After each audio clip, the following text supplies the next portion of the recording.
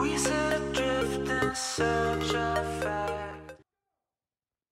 What is going on, ladies and gentlemen? My name is eColi Espresso, and welcome to today's episode. Now, today we got a couple things that I want to cover in detail uh, about Call of Duty Ghosts and any speculation regarding it. So, to save you guys the time of listening to me babble on and on, let's just jump right into it. So, first thing we got up is pre-orders, and I did notice upon making this that T-Mart did make a video about pre-orders and like the most bang for your buck, but I did not watch it. So, if his sources are the same as mine, well, then that's just sheer coincidence.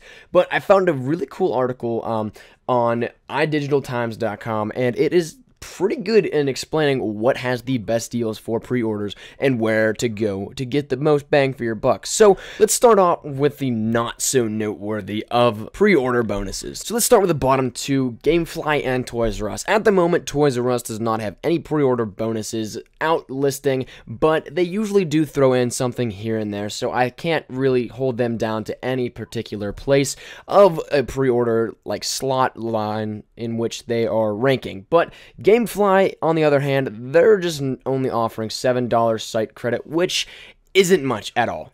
I mean, let's face it, you get more for trading in a couple games at GameStop. Um, and this is, yes, it's a pre order bonus, but I don't think it's going to entice many people to buy it off of Gamefly. Slightly up the ladder, though, even still kind of considered a joke in the Call of Duty community, is the Amazon pre order bonus because what you get with that is not even a physical type of enticement. It is two digital wallpapers, and you can guarantee that these are going to find their way around the internet. It's not going to be something that you're going to have to pre order exclusively for. I mean, let's face it, we're in the 21st century, everything is shared around with file sharing and all that. And if it's something actually that cool, it's going to find its way into the free market some way or another. Now, the top two offering a pre order bonus in the actual sense of what you get out of your money bang for your buck.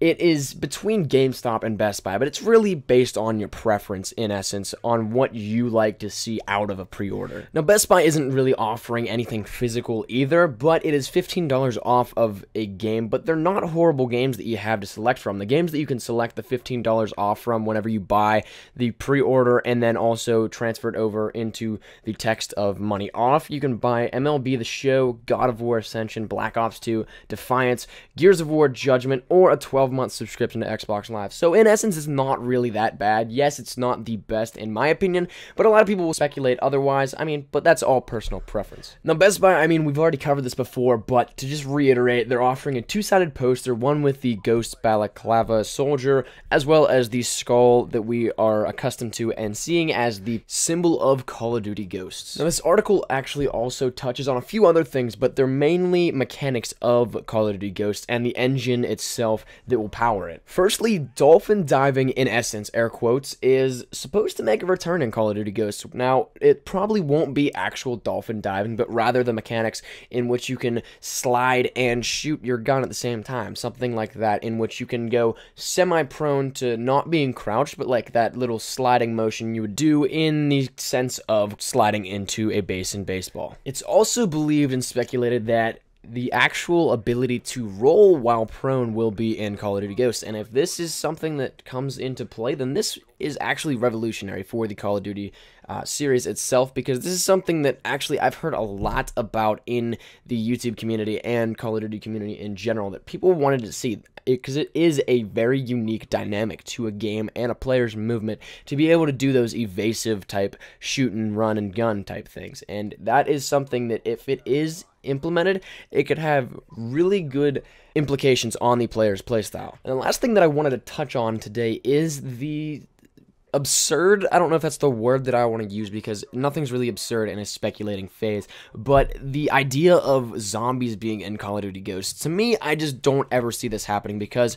it has been treyarch's flagship idea in the call of duty series that has pretty much catapulted their actual games into the market more so than usual because people buy the game for zombies. Let's face it, it's not just multiplayer and campaign that they buy it for. The zombies community is actually gigantic. And now the thing is, if Infinity Ward were to just be like, hey, let's put that into our game, it would destroy their reputation and it would honestly bring about so much uproar and hate in the community that I don't think Infinity Ward would recover from it. So even though the licensing could be realistically transferred to Infinity Ward, I don't think that Infinity Ward would even dare venture into that territory because it is just something that isn't their intellectual property per se, but also that even if they did get their hands on it and wanted to do it, it would just cause so many more problems than need be. So Personally, I don't think that it's going to happen. Whether or not it does, I guess only time will tell. But that has been my time, ladies and gentlemen. Thank you guys so much for watching. My name is an eColi Espresso. If you guys want to stay up to date with anything Call of Duty